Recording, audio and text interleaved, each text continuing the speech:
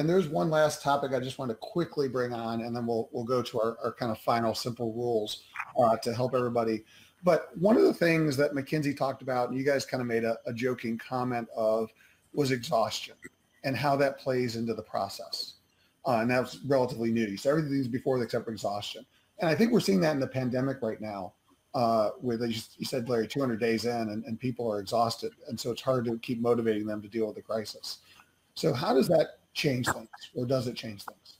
Yeah, I, I believe it changes everything uh, because with exhaustion, um, you'll no longer be alert to the way you were before. Uh, you'll get more used to the fact that uh, things are okay or not okay. Uh, your judgment will increasingly get poor.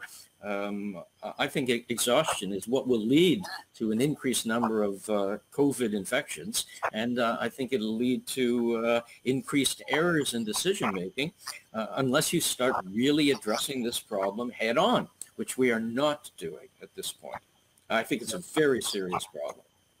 And, and in fact, you know, I would go so far as to say, Larry, uh, right now we're acknowledging and recording organizational exhaust, exhaustion.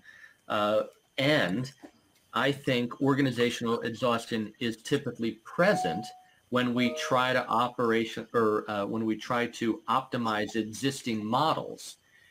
We just don't acknowledge it then. But in times of extreme uncertainty, as the uncertainty level extends and goes up, we we then begin to record the things that hurt all the time. So this is a very serious issue that I think McKinsey raises in the article. And, and in fact, I would, I would argue that if we don't build thinking time, if we don't build team time into our models, you know, think if you're a, a national football team uh, and you're and you're in a game and you're going back and forth up and down the field for four quarters, uh, but you don't stop and huddle and call a play you just you just run right up to the line of scrimmage and you go. Well, it's extreme exhaustion. In organizations, do we take the time to stop, pause, and say, "Oh my gosh, the defense changed." If I'm on offense, can you believe that Larry did this new thing? Well, then we've got to do something different. What might we do? Well, those individuals coming together, we got to huddle more. We've got to check in, ask each other how we're feeling more We've got to make sure that we're still aligned and know where we're going together. And do we have the right players on the field? And we know from sports, and sometimes we don't model an organizational life, from time to time, you got to bring new players in. Yep, yep. You know, Marty, Marty Seligman talked about uh, learned helplessness. Uh, this is a learned exhaustion.